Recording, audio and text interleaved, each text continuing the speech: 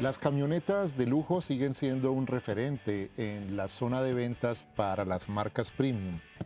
Esta es la Audi Q7, que es el tope de línea entre las camionetas de este fabricante alemán, que hace parte del grupo Volkswagen. Tiene una cantidad de comodidades, también tiene unos desarrollos tecnológicos bastante interesantes y sobre todo tiene un motor muy potente que los invito a conocer en esta edición de Estudio 2. Bienvenidos.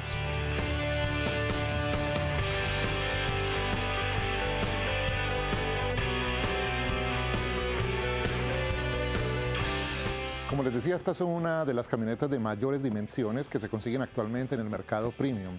Tiene como distintivo, cuando ustedes la ven en la calle, las luces LED, que son una luz día con bastante iluminación, tiene bastantes metros de iluminación.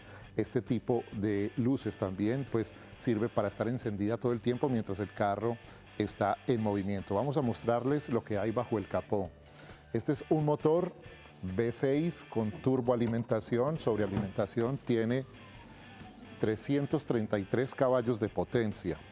Es un motor bastante potente con un torque abundante que lo hace pues muy rápido, muy veloz y las características de la carrocería y todo el tema tecnológico hacen que sea un carro bastante estable.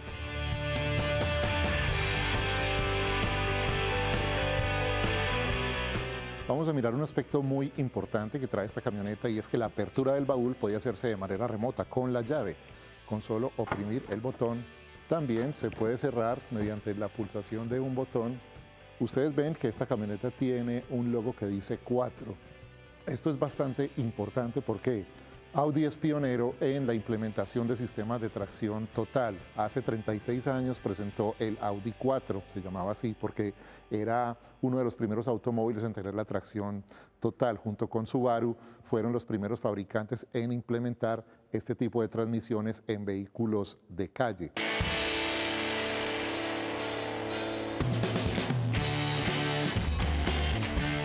En el interior lo primero que nos encontramos es que la llave no se inserta en ninguna ranura, simplemente se pone en un eh, puesto especial que tiene y el encendido es por botón.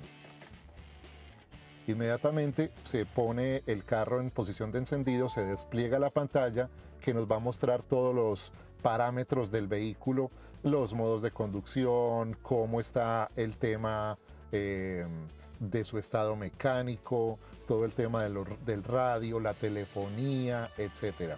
Otro toque del botón y se enciende entonces el vehículo completamente. Nos indica entonces todo el tema de cómo funciona eh, de un modo análogo y digital a la vez. También tiene levas en el volante donde se pueden aumentar los cambios o disminuir. Esta es una caja tipo Stronic de 8 velocidades con funcionamiento manual. Esta es la barra de cambios tipo avión. Y aquí se hacen los cambios y se pueden manejar de modo manual.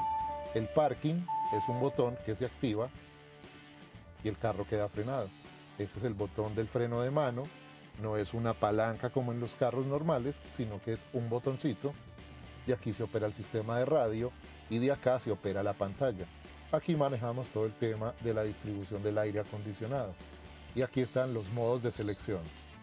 Para todo terreno, off-road, efficiency para ahorro de gasolina, comfort que modifica los parámetros de la suspensión, automáticamente se nivela también, tiene modo dinámico y modo individual para nosotros mismos cuadrar cómo queremos que se maneje el carro según nuestros gustos. Finalmente vamos a ver cómo opera el sistema del sunroof, que es una superficie cristalada bastante grande la parte de atrás, si bien tiene su superficie cristalada, no abre el tema del sunroof.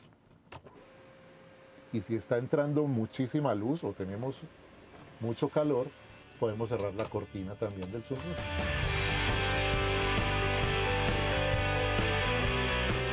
Bien, esta era la Audi Q7, tope de línea de las camionetas de Audi, un fabricante alemán afincado en una ciudad que se llama Ingolstadt donde se hacen pues la mayoría de los vehículos que se exportan a todo el mundo.